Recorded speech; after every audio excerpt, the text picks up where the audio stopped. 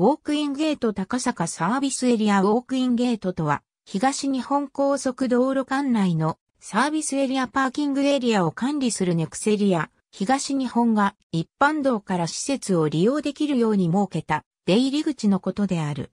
同様の出入り口は、ネクスコ中日本、ネクスコ西日本の管内にも存在する。ネクスコ中日本管轄のサービスエリアパーキングエリアを管理する中日本エクシスでは、プラットパークと呼んでいる。ネクスコ西日本管轄のサービスエリアパーキングエリアを管理する西日本高速道路サービスホールディングスでは、ウェルカムゲートと呼んでいる。元は従業員出入り口である観点から場所によっては、駐車が困難な施設もあることにも留意したい。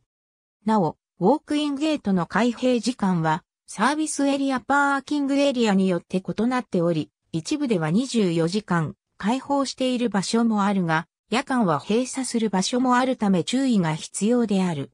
ハイウェイオアシスに似ているが、こちらは高速道路側から隣接施設を利用できるように設置したものであり、若干異なる。